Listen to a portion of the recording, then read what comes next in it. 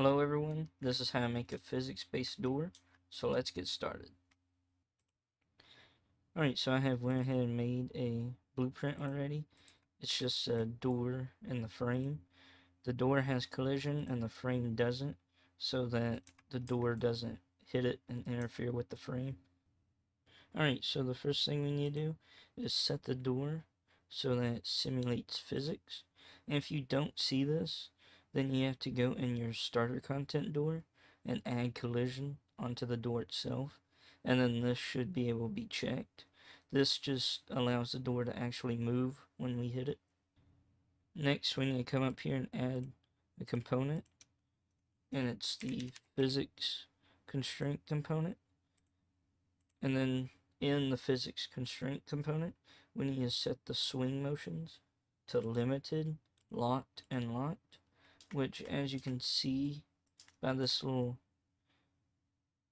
angle right here, this is the way the door will spin when we hit it. So to set it where it spins properly, we need to rotate this about 90 degrees, move it to the opposite side of the handle, and then come over here on the swing limit and set this to about 90 degrees or however wide you want the door to open and as you can see the angle grew. Alright so after you have the angle set to a degree that you like you need to come up here and assign it a constraint bone or a component and this will be our door mesh. And as you can see a box appears so it's constraining the box. And yours might not be a door but it's whatever your door mesh is whatever you name this component so then if we compile and save, come over here on our map and we play it, if we run into the door, it swings open. However, we can fix it where it closes after we run into it. And to do that, all we have to do is go back into the door, go into our physics constraint, scroll down here, and change the angular motor to twist and swing and then enable swing right here. And then just this value can stay 50 it doesn't really matter. Compile and save. And now after we hit it the door will close on its own. So if we run it you can see it'll close on its own.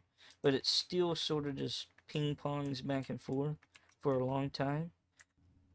And to fix this we can go back into our door go into the door mesh itself. Go up here on the angular dampening and set this to a value of about 20 or whatever you prefer. You can play around with these values and find something that you like. But now if we run into the door, it will close behind us and just gently come to a stop right behind us. So yeah, that was the tutorial. If you learned something, subscribe.